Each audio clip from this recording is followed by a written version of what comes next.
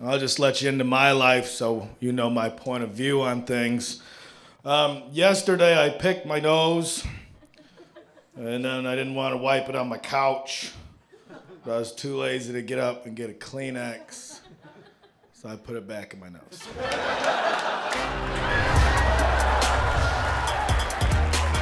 Back in December, I fell. I, I fell real bad. I was, I was, uh, was at home. I, was, I fell in the shower. I was drunk.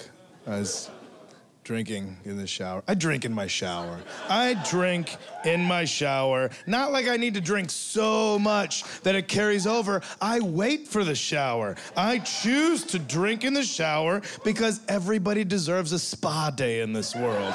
And I'm glad you agree with me.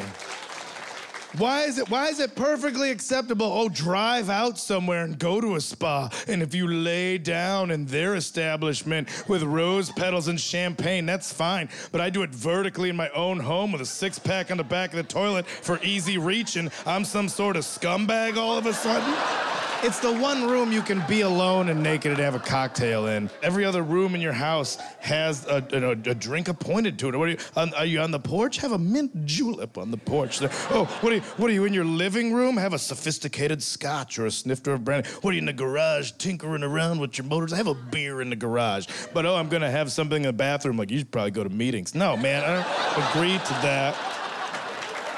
I set it up. I have an event for myself. I have the drinks on the back of the toilet. Don't bring them in there with you. You don't need them that close. I have a waterproof Bluetooth speaker for the shower shelf. I put the iPod on shuffle in the other room, and I let Steve Jobs DJ my mood from beyond the grave. And he gets it right. All right, DJ Steve, that's the 160 gig model, 35,000 songs. I got about a 9X roommates libraries on there. What can you do for me? Five Motorhead tunes, then three Lionel Richie jams. Shit. Get into it. Motorhead's playing, what do you do? You're guzzling the beers. You're living life. Flash dance your problems away. It should come as no surprise when I tell you that I belong to the Facebook fan page for Red Lobster Cheddar Bay Biscuits. For obvious reasons, they're delicious, they're cheddary, they're a perfect prelude to your entree, whatever you might be having. Also, in my heart of hearts, I hope that somewhere in this world there really is a geographic location known as Cheddar Bay. somewhere maybe north of Nova Scotia where the sailors can guide their weary vessels into the cheesy waves. and the salty fog will hit them, and they'll all be carrying treasures and necklaces for their port lovers by the name of Brandy. that being said, I was privy to witness something by being a member of that fan page. For whatever reason, the day Michael Jackson died, the Cheddar Biscuit fan page became an unofficial forum for mourning the loss of a recording legend. I have no idea why, but that day, the Venn diagram of Cheddar Bay Biscuit fans and Michael Jackson fans eclipsed itself. They found each other. And I don't know, I don't know if that's a, a true mark that as a society we're gonna make it because that's technology and human compassion intertwining to support one another, or if that's a clear sign of end of times. I don't know. But all I know is you go on there the day Michael, and it is hundreds of comments of people just just eulogizing the death of the king of pop. Just, oh my God, Mike, oh my, R.I.P. Michael, we love you. Your music meant so much. Just, just dozens, dozens. The thing is, though, every 60 or 70 comments, somebody will log in and leave a comment that clearly had not heard the news yet. so that's like, like comment 63 will be like, oh my God, Michael Jackson, you meant so much. R.I.P., rest in peace. Uh, good luck in heaven, man. And then comment 64 will just be somebody going, man, Cheddar Bay biscuits are the Am I right?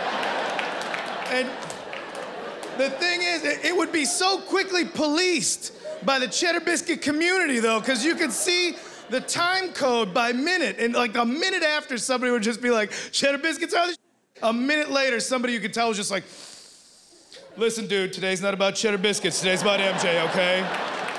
Like they were angry, but they knew, okay, he doesn't know, he doesn't know. And you could feel the remorse emanate from your, you could just feel like I like, I am so sorry. I just, I wake up, I stretch, and I log on to my Cheddar Biscuits fan page to see what my brothers and sisters are up to. I do not go to national news sites. I come here to express joy out of this appetizer. And I don't know if that's beautiful or terrifying, but it's something, man. I don't know. I went down to London and uh, I went on the Jack the Ripper tour in London because that's what I do still. Like I should grow up, but that's the stuff I'm into. And it's a big deal there. Like there's still big advertisements like you gotta go on this Jack the Ripper tour. And it's from the 1800s, but it's still their big uh, tour thing. Go on the Jack the Ripper tour, and you sign up for a tour. And there's so many tours. There's like competing tours, and they're cutting each other off in the street. There's it's so popular, and you sign up, and you get assigned a tour guide who's just a decrepit little English man, and you know he's got like, and he's dressed in the period. He's got a top hat and a cloak, and he's using the scariest British voice, or maybe just his British voice, because it's hard to tell with the old ones. The old ones always sound like they're just dooming you no matter what, you know? What time is it? Uh, 7.30. He's, he's leading us around the city on this tour, and the tour is interesting, but it's hard to focus on because you're still in a modern city. So he's trying to put you in the time period that this all happened, and he'll stop you on some part of the street where he's like, and here one of the victims was found dissected with medical precision. But you're still in front of a KFC. It's kind of like, man. It's hard to focus, like, not dissect a family bucket medical precision. Tour's boring as shit. But then we get to the end of it. We get to the big finale, and he's got everybody gathered around. And this is this big climax moment of the tour. And he's got everybody there. And this is where he just sends it home. And he's got everybody goes, and it's believed that in total, Jack the Ripper may have killed up to five victims.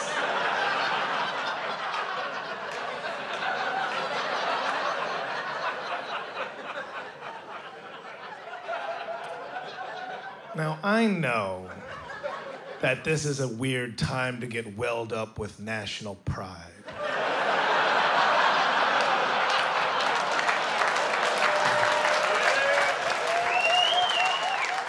But I had to turn to my friend. I was like, did he say five? We've been rolling our ankles on cobblestone for three hours? For five? We paid 60 pounds. I don't even know how much that is in real money. For fucking five? And I got real USA. I was like, I'm from America, baby. We got somebody killing five people right now. And we don't give them walking tours neither. You got a walking tour for everybody that killed five people in this country. The whole 48 lower states would just look like half price tickets at Disneyland. That's what it just looked like.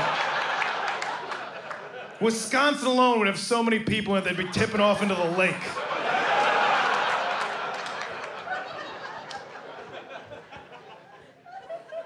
You kill five people, you could defend yourself in court after killing five people and get off with like just like a warning. That's where we're at. You can be like, all right, yeah, I know what happened, Your Honor, but listen, you know how they say McDonald's has breakfast all day? Yeah, and then you get your hopes up. But then they can still run out of that shit. And that's what they don't tell you when you're trying to have an Egg McMuffin for dinner and like, we're out of Canadian bacon. Sure, I got a little out of hand. I got a little, I got a little out of hand.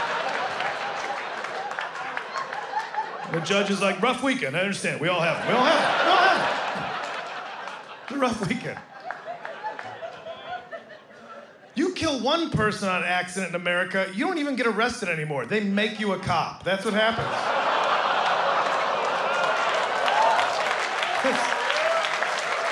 I don't want to be a police officer. It doesn't matter. You pass the test, you're qualified. Welcome to the force. Loneliness is a subjective term. You know, it's, it's different for everybody. Man, you're cast away on an island, there's nobody around. That's lonely. You know, but it could also mean you lack the simple courage to be able to say hello to somebody sitting next to you on a bus. That's lonely too. You know, for me, I can define loneliness I can just hone it in as the very moment that I realized that I had forgotten I was masturbating at a motel in Green Bay, Wisconsin. That's it. That's the point. That's what I remember. Just, it's not even sexual anymore. It's just like an aggressive shooing away of a nuisance at this point.